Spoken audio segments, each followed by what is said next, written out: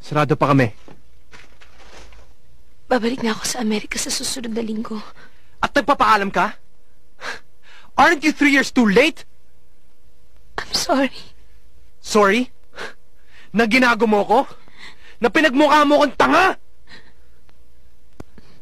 Alex, hindi ko naman ginusto. How dare you!